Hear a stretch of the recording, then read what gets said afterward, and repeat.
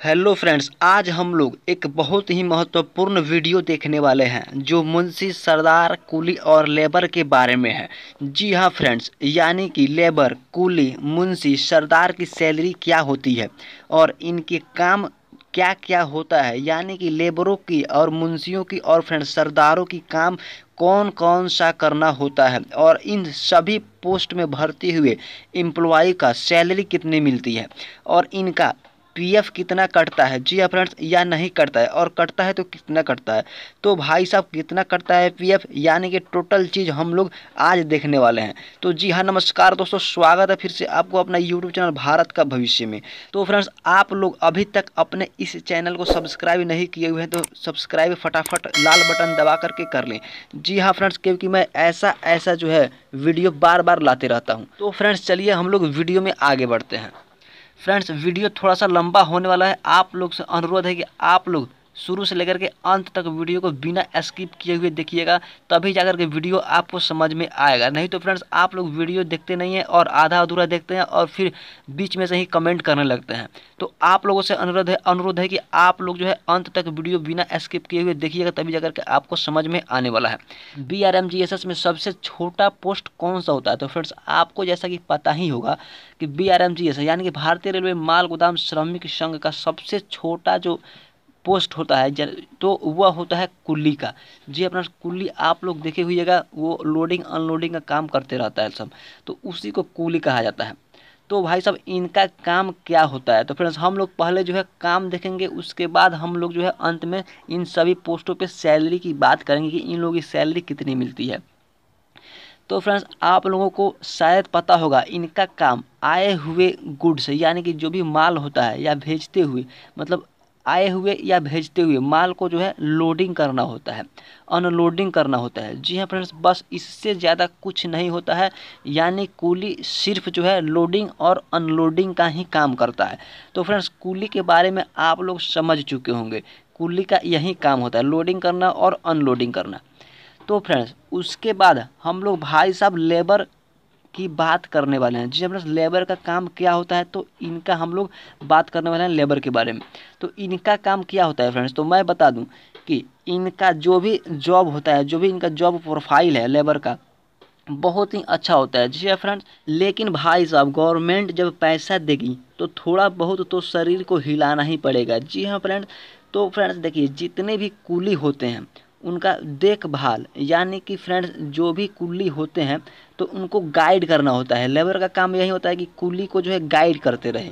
यानी कि friends train की एक बोगी में जितने भी कुल्ली होगा, उनसे काम कराना होता है। जी हमारे साधारण भाषा में आप लोग समझिए कि कुल्ली को जो है काम कराना ही लेबर का मुख्य काम होता है। तो फ्रेंड्स यहाँ पे मैं बता दूँ कि ये कन्फर्म ये कर दूँ कि अगर एक बोगी में चार से पाँच लेब ये कुली होते हैं फ्रेंड्स तो उसमें एक लेबर होता है। जी फ्रेंड्स एक लेबर होता है और मतलब चार से पाँच, यहाँ चार लगभग जो है पाँच यहाँ पे कुली होते हैं तो उन्हीं से काम कराना होता है।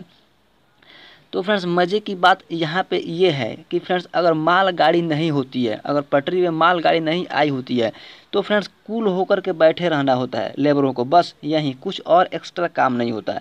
बहुत से फ्रेंड्स लोगों को ये डाउट रहता था। जी फ्रेंड्स बहुत से लोगों को ये डाउट रहता है कि फ्रेंड्स ये लेबर लेबर से लोडिंग और अनलोडिंग का भी काम कराया जाता है या काम कराया जाएगा। तो फ्रेंड्स यहाँ पे मैं कंफर्म ये करा दूँ कि यहाँ पे लेबर से जो है लोडिंग और अनलोडिंग का काम बिल्कुल भी नहीं कराया जाएगा। जी फ्रेंड्स ऐसा बिल्कुल भी नहीं होगा। ये सब काम कूली का ही रहता है। तो फ्रेंड्स मैं बता दूँ कि लेबर के ऊपर जो है यहाँ पे लेबर जो है यहाँ पे सेकेंड डाउन पे होगा और उससे ऊपर फ्रेंड्स जो सरदार हो जाते हैं। जी हाँ फ्रेंड्स सरदार। तो फ्रेंड्स हम लोग सरदार के यहाँ पे जॉब प्रोफ़ाइल के बारे में देखने देखेंगे तो सरदार का काम क्या होता है? तो फ्रेंड्स सरदार लेबर थो, थोड़ा बहुत बड़ा पोस्ट होता है और बोगी में जितने भी फ्रेंड्स सड़े गले यानी कटे पदार्थ होंगे यानी कि किसी भी बैग में जो बोर बोरी होती है किसी भी बैग या बोरी में फटा हुआ होता है तो उसको जो है अपने डायरी में अपने नोटबुक में फ्रेंड्स नोट करना होता है। जी हमारा नोट करके कि ये इतना बोगी ये इतना नंबर बोगी में इतना बोरा जो है फटा हुआ है सड़ा हुआ है इसमें का सद, मतलब पदार्थ। तो सरदार का यही काम होता है वो नोट करे और उसका एक रिपोर्ट तैयार करके अपने से ऊपर अधिकारी यानी कि सीनियर को जो जो भी उनसे ऊपर के अधिकारी हैं उनको ले जा करके सबमिट करने यानी कि दे दें। तो फ्रेंड्स यहाँ पे सरदार का और लेबर का और फ्रेंड्स कुली का काम यहाँ पे ख़त्म हो जाता है। और फ्रेंड्स हम लोग बात करेंगे कि यहाँ पे आगे क्या जो है मुंशी का होता है। तो फ्रेंड्स, मुंशी का काम क्या होता है? यानी कि इससे आप लोगों को स्पष्ट हो ही गया होगा कि फ्रेंड्स, सबसे छोटा पोस्ट कूली, उसके बाद लेबर, उसके बाद फ्रेंड्स जो है, ये सरदार होते हैं, उसके बाद जो है मुंशी होता है। तो फ्रेंड्स, अब रही बात मुंशी की। तो भाई साहब, मुंशी साहब बड़े पोस्ट हो गए हैं। जी हाँ फ्रेंड्स, यानी कि सरदार से बड़ा मुंशी होता है, इनके काम की बात करें। तो फ्रेंड्स इनमें थोड़ा ज़्यादा प्रेशर होता है, ज़्यादा इसमें काम कर करके प्रेशर होता है क्योंकि ये बड़े होते हैं तो क्योंकि पूरे ट्रेन में क्या हो रहा है, पूरे मालगाड़ी में क्या चल रहा है, मालगाड़ी जो भी माल गोदाम है, उसमें क्या चल रहा है, क्या हो रहा है, पूरा रिपोर्ट उनको जो है सरदारों से मांगना पड़ता है, सरदार ले जाकर उनको रिपोर्ट सौंपते हैं और वो जितना रिपोर्ट होते हैं वो अपना मतलब आगे के सीनियर को मुंशी जी बढ़ा देते हैं। यानी कि आप लोग साधारण भाषा में ये समझ सकते हैं कि मुंशी का काम जो है फाइनेंशियल तरीके से भी होता है। फाइनेंशियल तरीके से इनका काम करते हैं मुंशी जी। आसान भाषा में आप लोग ये समझ सकते हैं। तो फ्रेंड सरदार और मुंशी, मैं बता दूँ, यहाँ पे अगर सैलरी की बात सॉरी फ्रेंड्स यहाँ पे अगर ये इनकी पोस्ट की बात किया जाए तो किस कैटेगरी में कौन सा ये मतलब पोस्ट आता है? तो सरदार और मुंशी जो है फ्रेंड्स, ग्रुप सी कैटेगरी के पोस्ट हैं। जी हाँ फ्रेंड्स, ग्रुप सी कैटेगरी का पोस्ट जो है सरदार और मुंशी का होता है। और फ्रेंड्स, जो लेबर होते हैं, जो लेबर होते हैं, वो बिल्कुल फ्रेंड्स ग्रुप डी कैटेगरी का जॉब है। जी फ्रेंड्स, आप लोगों को समझ में आ गया होगा, ग्रुप डी कैटेगरी का जॉब जो है लेबर होता है। और फ्रेंड्स, आप लोगों की सभी यहाँ पे कन्फ्यूज़न यहाँ तक दूर हो गया होगा। और फ्रेंड्स, इससे रिलेटेड अगर आपके पास कोई भी डाउट रह गया हो तो कमेंट बॉक्स में कमेंट करके आप लोग पूछ सकते हैं। तो फ्रेंड्स, चलिए हम लोग अब इसके सैलरी के बारे में बात करेंगे।